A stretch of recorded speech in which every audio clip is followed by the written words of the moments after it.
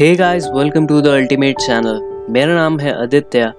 तो गाइस हमारे आज के इस एपिसोड में हम एक ऐसे इंसिडेंट के बारे में बात करेंगे, जिसे सुन के शायद आपका दिल सहम जाए, शायद आपको रोना भी आए या फिर आपको बहुत गुस्सा भी आ सकता है, क्योंकि ये कुछ ऐसी हरकतें की गई है, कुछ घटिया लोगों के द्वारा, जिसे सुन के पूरी पब्लिक जितनी भी डॉग कम्युनिटी के लोग हैं, सभी गुस्से में है।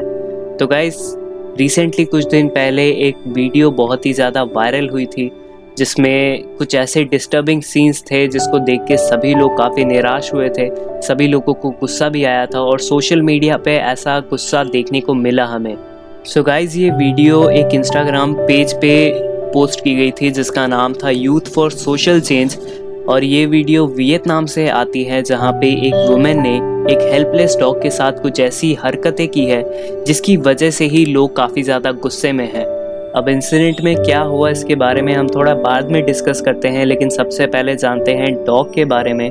तो ये जो डॉग है, इसका नाम है मीना, ये एक फीमेल डॉग है, जिसकी एज अराउंड थ्री इयर्स के आसपास है, और इसकी जो ओनर है, ये इसको बचपन में लेकर आई थी, और अपने घर में रखती थी और जहाँ पे मीना, जो कि डॉग है, वो बैक यार्ड में आराम से घूमती थी, फिरती थी, खेलती थी और जो इसकी ओनर है, उसके पास कई चिकन्स और डक्स भी थे तो उनका भी पीछा करती थी और और मीना की जो ओनर है, उसके घर के आसपास जो नेबर्स रहते थे, वो भी मीना के ओनर से काफ़ी ज़्यादा परेशान थे क्योंकि उन्होंने देखा है कई बार कि वो अपने एनिमल्स को, अपने डक्स और चिकन्स को और डॉग को काफ़ी ज़्यादा डिस्टर्ब करती थी, परेशान करती थी, जो उनको भी काफ़ी ज़्यादा अजीब लगता था नेबर्स को।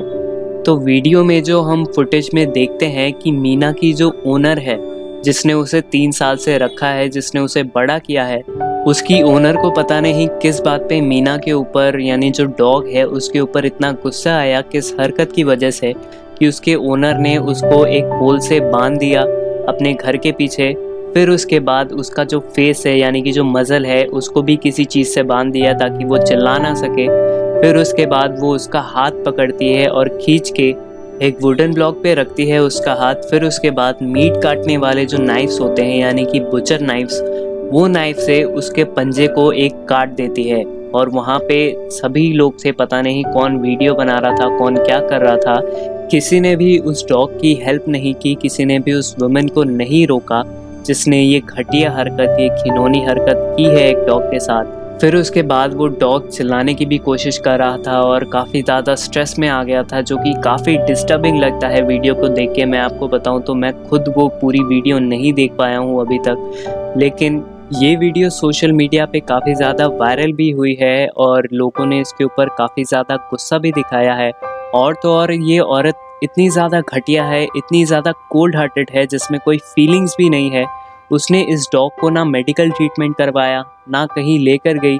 इसने उस डॉग को बस ऐसे ही उसका पैर जो है चॉप करके गुस्से में आके फिर उसको ऐसे ही छोड़ दिया कई दिनों के लिए। फिर उसके बाद जब ये वीडियो काफ़ी ज़्यादा वायरल हुई तो लोकल एनिमल एक्टिविस्ट जो थे वो वहाँ पे गए मीना को बचाने के लिए और तब भी उसकी ओनर उसको छोड़ने को राज़ी नहीं थी कि नहीं जाने दूँगी मैं।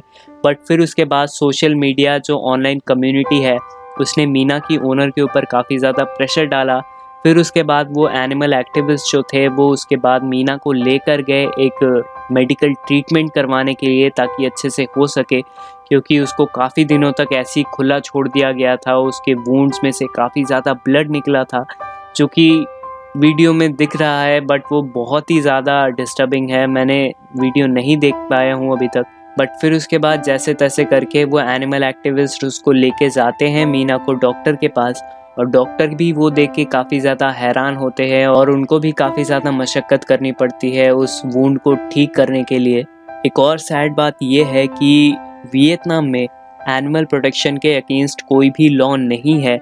तो इस घटिया हरकत जो की है इस औरत ने, इसके लिए इसको कोई भी पनिशमेंट नहीं मिलेगी और डॉग के साथ जो हुआ, उसको भी कोई जस्टिस नहीं मिलेगा। एक और बात है जो हमें सोचनी चाहिए कि इसकी जो ओनर है, जिसने ये घटिया हरकत की है, वो एक डॉग को लेकर आई, जिसको उसने तीन साल तक बड़ा किया। तीन साल एक काफ़ी लंबा टाइम होता है जिसको तीन साल तक बड़ा किया, उसका ख्याल रखा। बट फिर उसमें ऐसा किस तरीके का गुस्सा आ गया कि उसने सीधा उसको बाँध के, उसको पकड़ के अपने डॉग का सीधा हाथ काट दिया?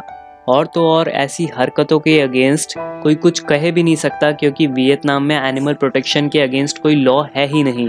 अब इस डॉग को जस्टिस कैसे मिलेगा, ये तो हम नहीं बता सकते बट अगर कर्मा नाम की कोई चीज़ है तो कर्मा इस औरत को ज़रूर पनिश करेगा, क्योंकि एक डॉग है जो कि बोल नहीं सकता, बेजुबान है और अपने ओनर से बहुत ही ज़्यादा प्यार करता है, जिसके लिए वही पूरी उसकी दुनिया है।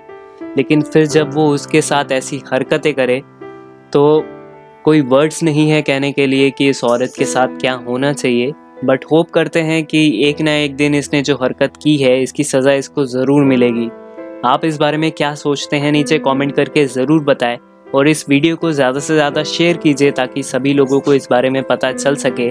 डॉग से रिलेटेड और ऐसी वीडियोस देखने के लिए सब्सक्राइब करें हमारे चैनल को और वो बेल आइकन ज़रूर दबाएँ। Thank you.